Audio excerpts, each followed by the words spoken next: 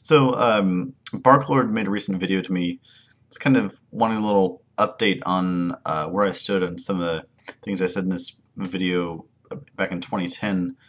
Uh, it, was called Post Civilization. And look, going back and looking at that video, I kind of, I still agree with a lot of what I said back then, um, except for the parts involving the state. But um, but, but I thought I'd just use this video to get to give kind of an ideological update.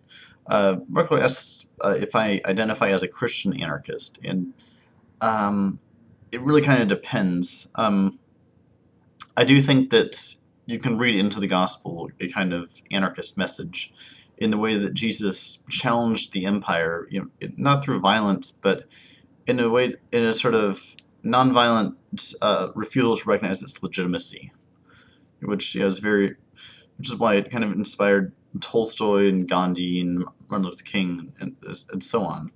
Um, but uh, what I don't do is I, I don't base my anarchism on the gospel, which is kind of how Christian anarchism tends to get defined. So in that sense, I'm not sure that the term would really apply to me. Um, now, I, I about you know global networks of uh, economic integration that have uh, developed under capitalism, asked, but asked if there's um,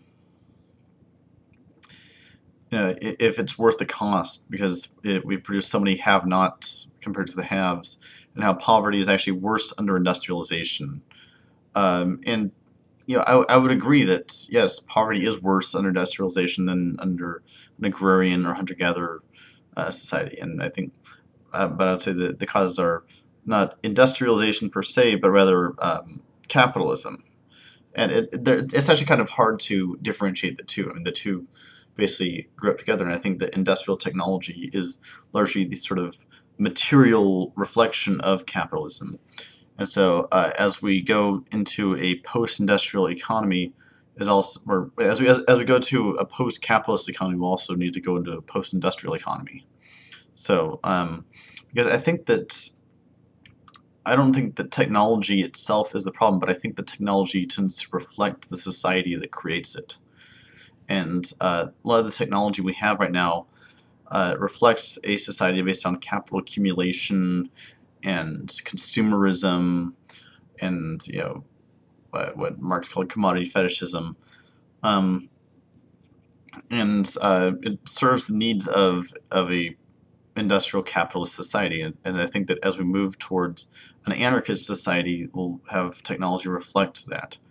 Uh, you know, I remember uh, Karl Hess once talked about how um, nuclear power is a uh, an authoritarian technology, while solar power is a democratic technology. And I, I think that's kind of a good example of what we're getting at is, is that uh, as as we create a society that is uh, non-hierarchical and decentralized. Uh, we'll also want to see technology that is also non-hierarchical and decentralized. Uh, and uh, also, you know, using existing technology in a more non-hierarchical and, uh, decentralized manner. So, you know, I, I think that technology has a interesting way of mirroring society. Of course, it, it's a two-way street. It's it both mirrors society and and shapes society. So it's it's a complex phone, I actually, actually took a college course on society and technology, and it, and there's it's a vastly complex issue. But uh, I, I do think that technology isn't the problem in itself, but it's a reflection of the society that creates it. Um, and, and, as far as globalization, you know, I I think that's a good thing that uh, the so-called anti-globalization movement has been rebranding itself as the uh, alter globalization movement because uh, you know globalization doesn't have to be a bad thing. What we have right now is capitalist globalization, which involves the you know tearing down of uh, of national sovereignty in in order to promote the free movement of capital. And what we should have instead is proletarian globalization, where worker-owned firms trade with each other in other parts of the world and have this vast decentralized global trade network uh, where, where they trade goods and services, which is what we actually want to be crossing borders, rather than having capital across borders uh, in order to ship jobs overseas. So, um, That's kind of where I stand on globalization. Um, you mentioned a little bit about, about my thoughts on money. I thought I'd just, I know you didn't really ask a question about that so much, but I, I wanted to kind of expand on uh, where I've been coming from lately in terms of my, my views on money.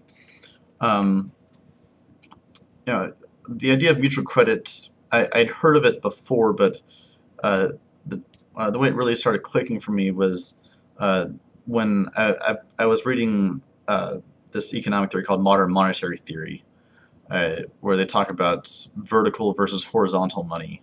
Vertical money being state money that is you know, printed and uh, spent into existence by the government, uh, versus horizontal money, which is you know bank credit, which uh, all sums up to zero and is sort of used to leverage one's position. And so that dovetailed with uh, this book I read by David Graeber, who's an anarchist. Uh, it's called Debt the Five, the First Five Thousand Years, and um, in that book he, he talks about how uh, how these primitive gift economies are actually uh, you know kind of credit economy, and this is confirmed when I later read Marcel Mauss, who has an influence on Graeber. Um, and he talked about you know different times in history when we had pure credit economies and how these were actually better for the average person. So it, it, it occurred to me then how a, uh, a credit system without interest and you know, run by and for the people would actually help um, uh, would actually serve as a system of mutual aid. Uh, and you know, of course, uh, there are anarcho-communists like Kropotkin who you know advocate that we should have mutual aid without any kind of accounting system, any kind of um, uh, you know any, any kind of currency or credit. Um, and I think this works on a uh, a small scale, which is exactly the scale that Kropotkin had in mind. So he wasn't naive about this, but yeah, I, I think that we should have. Um, yeah, I, I like the idea of having these global trade networks. So that's why I do believe that uh, uh, that having some sort of accounting system, uh, like like mutual credit, would would help in having the sort of price signals that would efficiently allocate goods and services to where they're needed. And uh, of course, there might be other ways of doing that. I've you know heard the idea of peer-to-peer -peer networks as an example, and I don't really know enough about how those work to uh, really comment much further on them. But yeah, there could be other um, signaling systems that would allow for that kind of complex network of, of uh, mutual aid to to come about.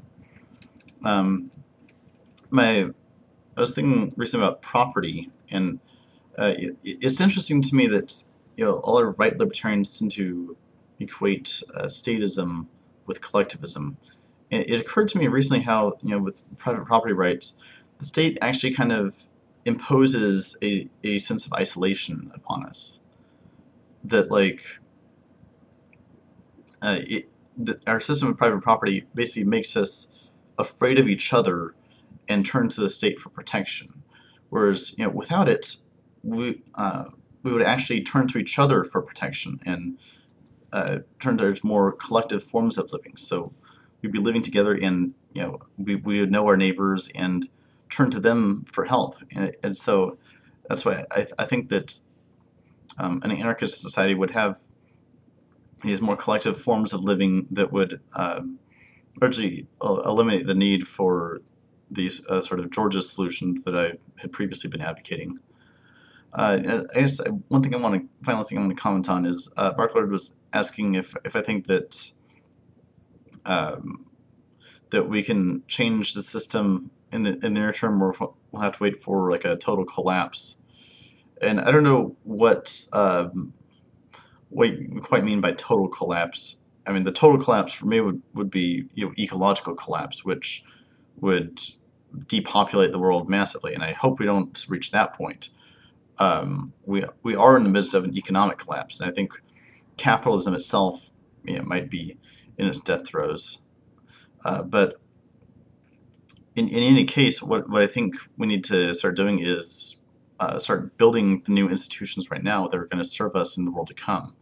You know, um, uh, the, the idea is you know, something that the Wobblies have advocated called you know uh, building a new world in the shell of the old. It's called dual power. Um, Because I mean, we're already in a disaster, but we can brave that disaster more easily if we uh, create new institutions right, uh, right now that, that will help serve us in the future. Um, and yeah, as that new world is created, as we see this uprising, uh, there's going to be a lot of conflict with the authorities. And you know, in, in the Occupy movement, I've I've seen these militarized police forces in the riot gear. I've been pushed with their batons. I've seen people beaten. I mean, it, it's it's a war zone out there, and I, you know, as this movement grows, it's going to get worse.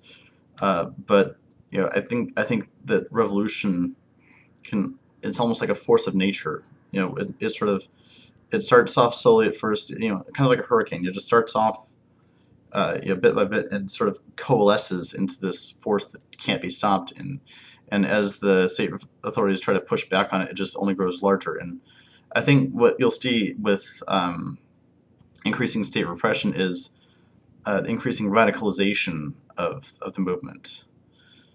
Uh, I mean, I I was somewhat of a liberal at the time that I that the Occupy movement started and became and became radicalized largely because of it. Um, and uh, and, and I uh, still the Occupy movement is sort of there still has the liberals and the radicals as the two main factions, and I expect that as uh, as it goes on, people will become more and more radicalized, and and that and and we'll see revolution carried through. At least that that's my hope, uh, because I think that the, the alternative to revolution is you know not not a pretty sight. I think revolution is our best hope, and, and it it seems like that is where the tides are are turning. And the state can try and repress it if they want. It will only grow larger, and uh, I think capitalism's days are numbered. So uh, anyway, I hope that uh, that answers your questions, and Matt has probably answered more than you asked, but um, uh, hope that uh, hope that works for now. Peace.